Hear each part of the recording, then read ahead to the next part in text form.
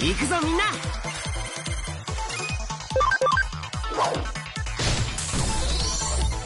みんなよく頑張ったね。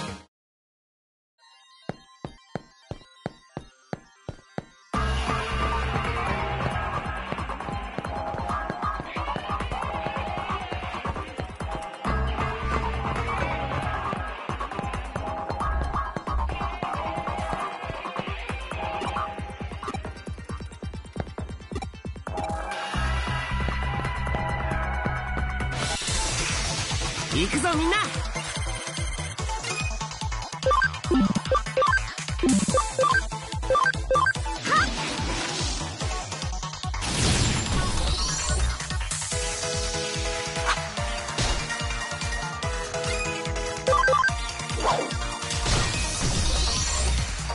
んな。よく頑張ったね。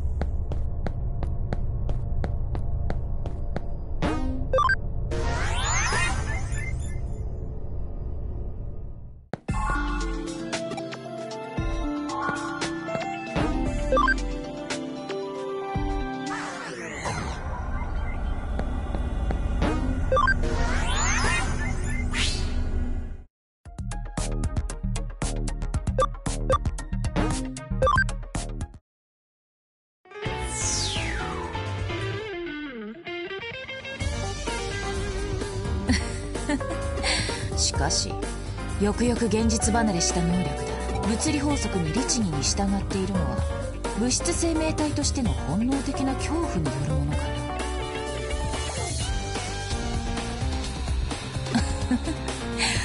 本当に興味深い。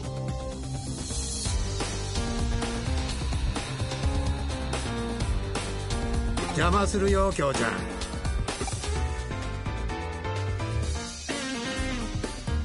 相変わらず物音一つ立てませんねおじさん。おっとすまん。またやっちまったか。それとその呼び方もいい加減改めてもらえませんか？子供の頃の呼び名ですよ。人前ではさすがに気恥ずかしい。京ちゃんこそいい加減諦めてくれないかい？俺にとっちゃ京ちゃんは京ちゃんだよいくつになっても。それでいつから？い今来たところだがなんかまああせえこの子お？ではな。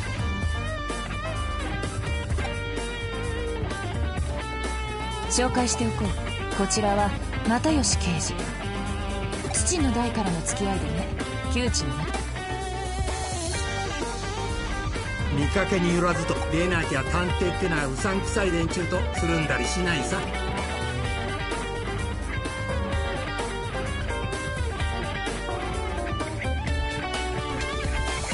おっと失言失言。それでな今美味しいコーヒーを入れて。いやいい。今日は依頼じゃない。コーヒーはいいよ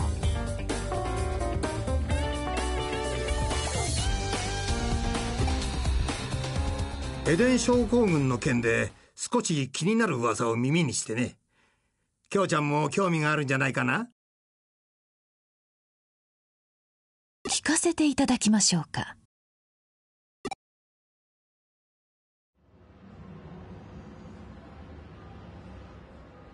ん？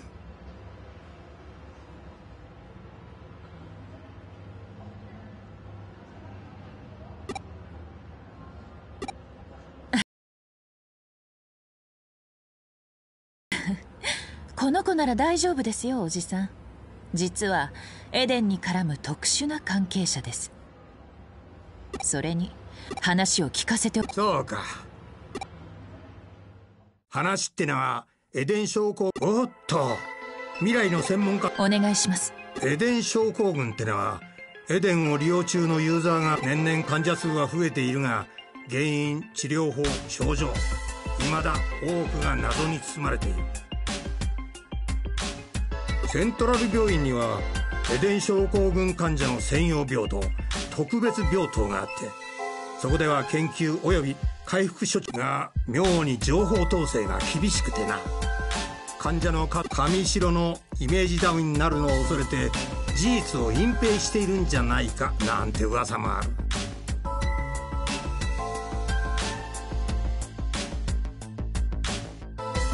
今回の件も噂の息を出ない類ではあるんだが。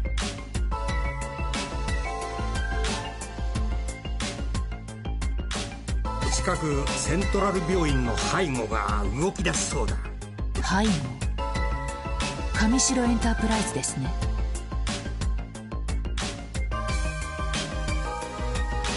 ああセントラル病院は上白の息がかかっているエデンネットワークの運営元である上白のな。発症患者の増加症状の重篤化傾向。それらが明らかになりつつある今上白が黙っているはずがない。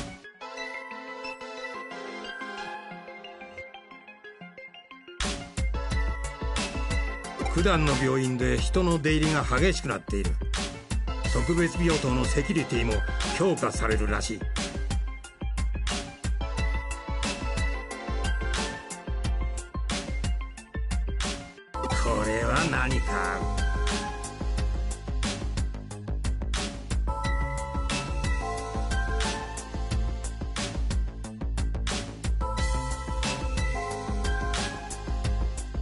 ようやくですね。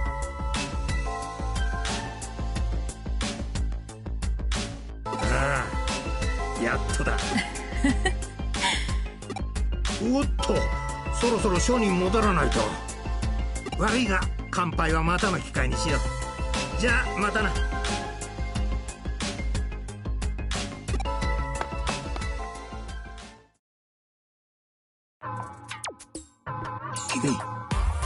京ちゃんの入れたコーヒーには気をつけろ。俺はいつか京ちゃんのコーヒーを鑑識に回す日が来るんじゃないかとそいつはシャレになんねえよな。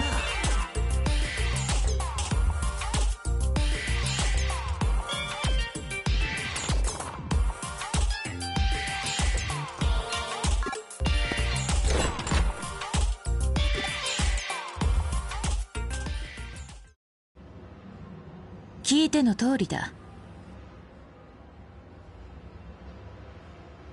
エデン症候群絡みの生きた情報は手に入りにくい。背後で上城の統制が行き届いている。